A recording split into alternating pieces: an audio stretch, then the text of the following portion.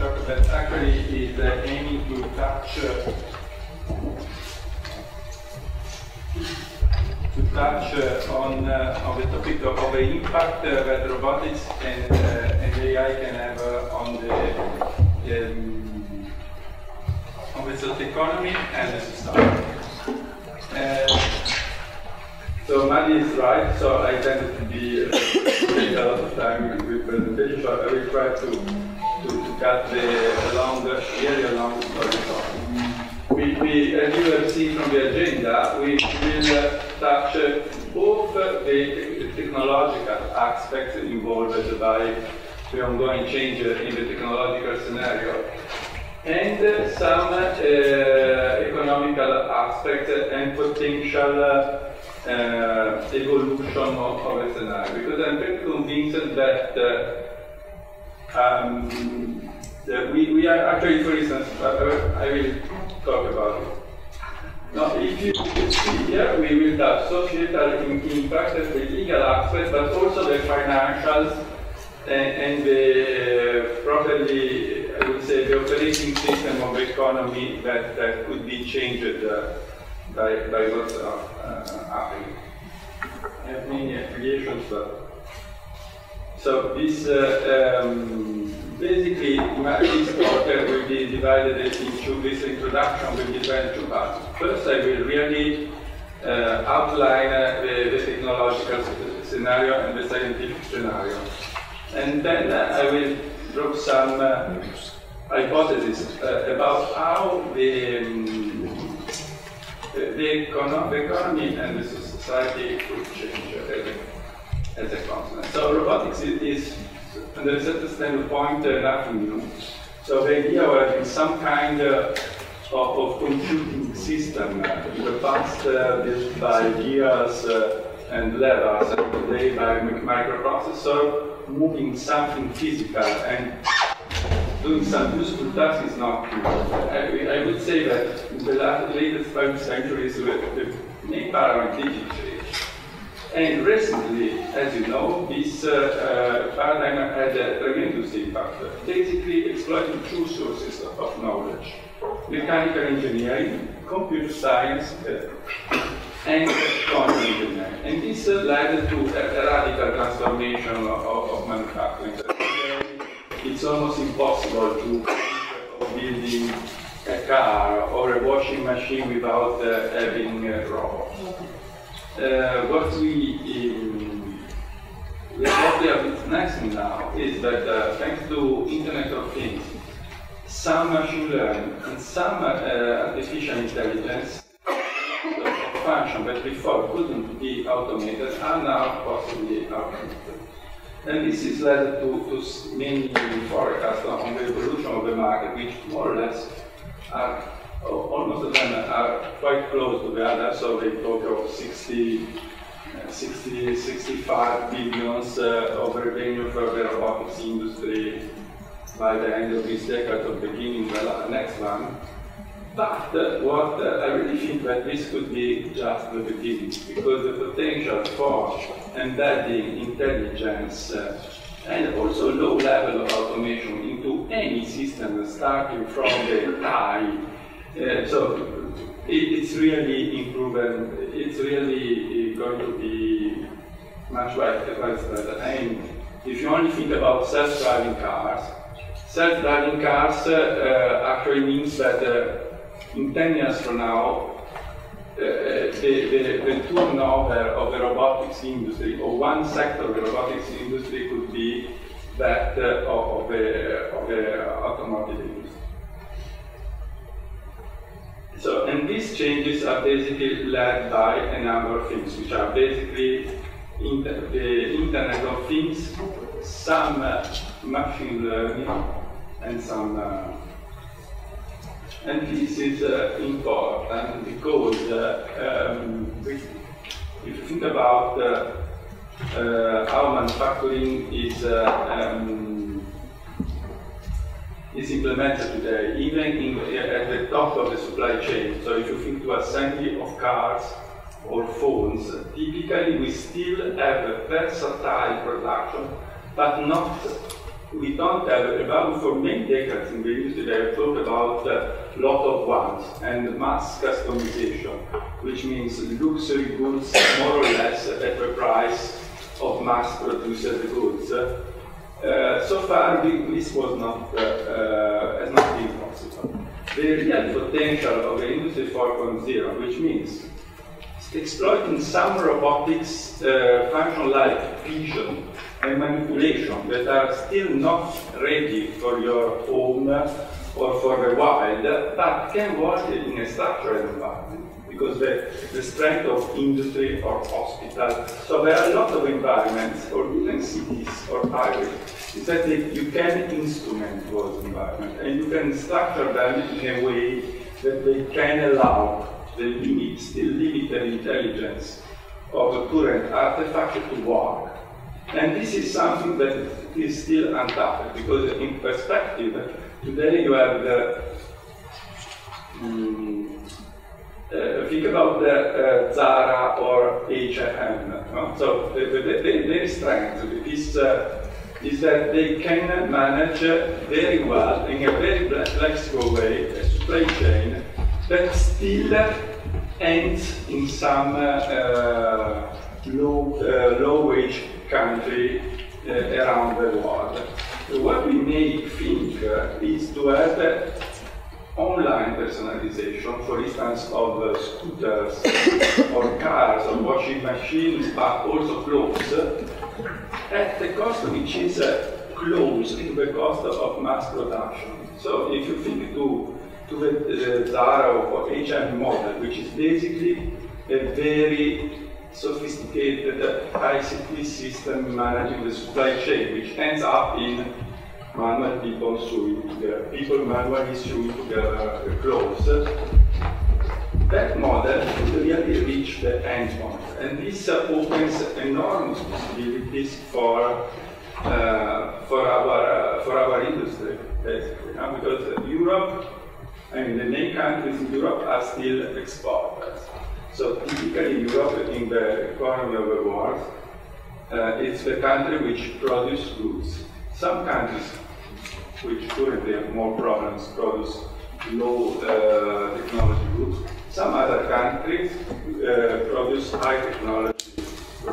Some countries like Italy produce some high technology uh, goods and some fashion goods uh, what we really could think of, thanks to these new possibilities opened by the uh, what is called Industry uh, 4.0, but is applying what we know about AI, machine learning, and Internet of Things to current industry. So, in principle, we can completely revolutionize the manufacturing process of everything, and also the distribution. Thanks to AI, also the service deployment uh, uh, can, can be changed. So we are, in a certain sense, uh, when people is thinking about the impact that robotics or AI can have on the economy and society, uh, could be uh, better and worse. Could be uh, the possibility to really change completely the organization of the economy and the society, because we can really see um, changes that can be compared to what happened with the new economy, so with the web economy. But the web economy was about uh, um, managing information. Uh, this new revolution is about managing things. So it's about uh, digitalizing the physical world. And if you think of what happened in 20 years, okay, the internet was invented uh, 40 years ago, but if you think what happened in the latest 20 years in, in a range of industries, uh, from including retail, uh, final consumer retail, what is also happening now with Amazon, it, it seems most uh, of the retail trade on the world. So it's really. And then we have that other aspect of the problem, because uh, if you look at some publications like this one, um, it seems we are going to have, because people is sometimes, sometimes worried by unemployment created by robot and AI. I, I'm not so worried. because I think that we are facing problem that uh, uh, with, a with a today's technology, we are probably not able to solve. So I, I, I want to be a bit provocative. But the problem is that this uh, exponential growth of population, the fact that billions of people are trying to achieve the level of consumerism of people in the third world, uh, so it's going to create a, a, pressure on the ecological stability of the planet, because we're talking about that, and a, a level of contention for resources that uh, we never experienced before. So the next thing is that uh, things like this, that again is something that for decades has been, is like a lot of one or the mass customization. Something that has been talked about for decades, the fact of having a circular economy, so not basically extracting new, new materials uh, from, from the earth or using more water, using more oil, but basically recycling the material, which, which is a lot but it is uh, already in the manufacturing cycle and in the landfills. So um, before this was very difficult to do because it was very uh, difficult to pick up a car. A car at the end of life, now you typically pack it, uh, so you, you crash it. In principle, it would be nice to dismantle it piece by piece this was uh, and made by hand, was uh, um, unbelievable, so was not practical from an economic standpoint. Made uh, with uh, some vision in a factory, with some tracking, and some is now possible. And this is uh, and then also other aspects. Uh, you, you, know that uh, Europe, now this is happening out of Europe, but in Italy, for example, or, or in Spain uh, or in most Europe uh, during the, urban, the um, peak uh, phase of urbanization, a lot of very bad suburbs were built. Again, in construction industry could really make some, uh, these are utopistic dreams uh, of the 60s, of the 70s by major architects like Richard Rogers. So prefabrication of houses uh, is not particularly attractive for people if uh, you cannot have a lot of one customization. So if you can prefabricate an house uh, um, one by one. So there are still problems. I promised to say something about uh, um, technology because uh, uh, the reason why it's probably that the, um, the impact of robotics will be first in environments like uh, the um, like uh, half structure, like the, the manufacturing sector, is that uh, in the wild we still a lot of problems. So people remember from the internet, uh, from YouTube, you know, all these tiny things. But what is really impressive for me is that uh, according to a study, a study performed by the University of Ireland in the background of, of the competition, uh, the average number of people that operating those uh, dumb robots was 10. So that joke is that the military wanted a, dumb soldier controlling 10 smart robots. What you need now is 10 engineer soldiers uh, uh, controlling at one dumb robot. So we are, if you want, quite far from the expectation of the DARPA. Whatever you think from the ethical standpoint, but it's not a risk, no, for now. So, so many thinks that we should go for a radically buying started approach. Yeah, yeah, yeah. So, and it's uh, not about that because they quoted self-driving cars that many, including think uh, are uh, close in time as a possibility, something that uh, there are still problems there. So in this nice post uh, on his blog that, uh, by Rodney Brooks, uh, it lists a number of situations where today car which has not some HRI function would fail. For instance, a, a one-way street is blocked uh, by some construction work. You know what to do, the car usually doesn't. Uh, so we so we have also issues in terms of science uh, about uh, what which kind of approach uh, should have a good old fashioned mechatronic or some new classical radical manufacturing. Now I accelerate. So um, we, there are a number of issues which are not academic. For example, this, uh, you know that there was another uh, fatal accident uh, a few weeks ago, and this was the very first one. And uh, there are a number of issues that we will be discussed today about liability, so who is the guilty, right? uh, who, who, should pay the damage. Uh, so all this uh, kind of um, issue should uh, should be actually discussed. And uh, as um, Adi was um, saying before, uh, actually the EU Parliament is working on this.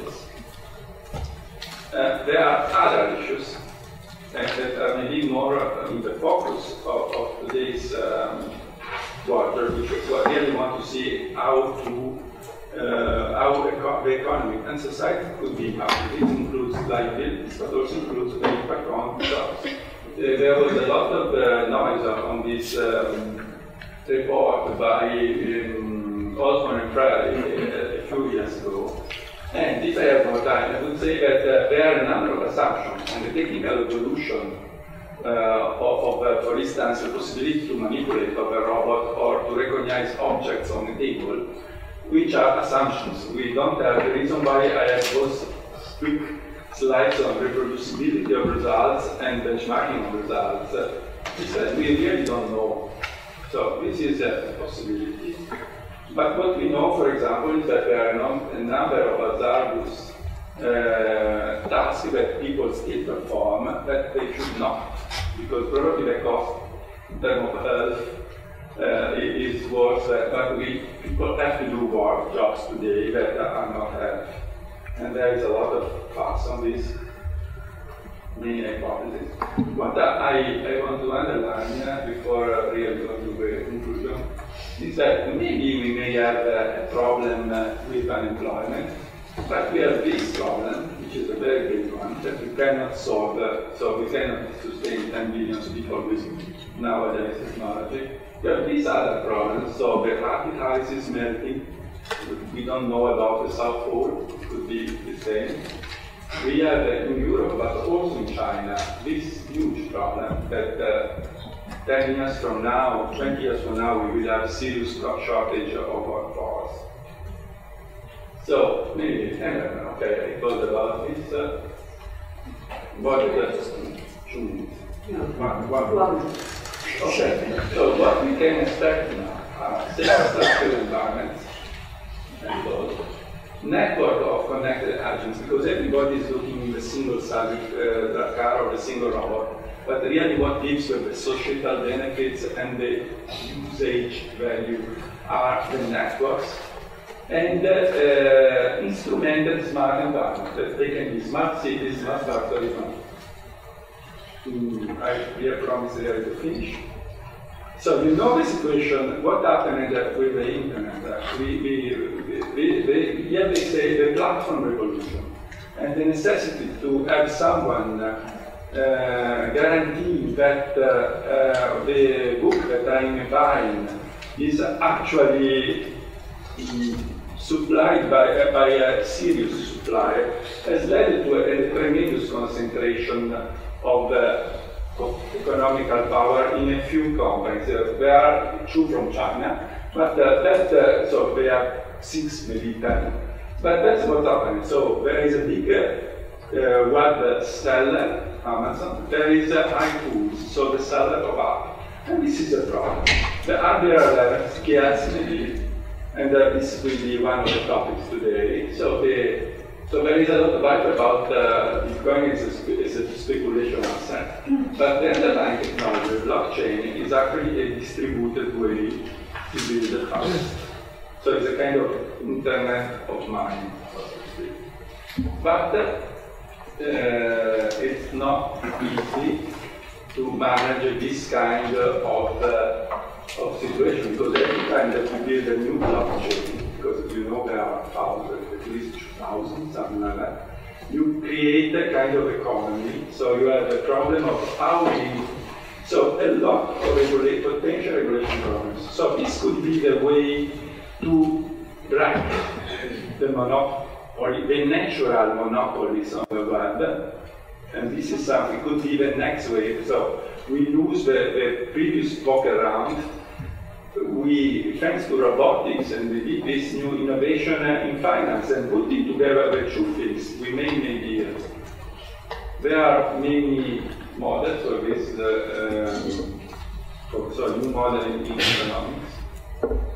And uh, I want to finish, really finish here, quoting this, quoting this book that uh, was published very recently, uh, actually from the same, two people from the same institute of Frey Osborne, was about uh, the fact that there are a lot, about you might feel, sometimes feel lost uh, in today's world because it seems that there have a lot of problems huh, that you cannot manage. Uh, actually, this also happened during the Renaissance. So the, the, the, I perfectly agree with them that we are in a very similar situation. So we, we have, because uh, we have civil wars, we have uh, financial unrest, societal unrest, uh, growth and inequality. But we are also in an age of tremendous development in science, technology, but also in the humanities. So people connect much more than in the past, and this was happened already once.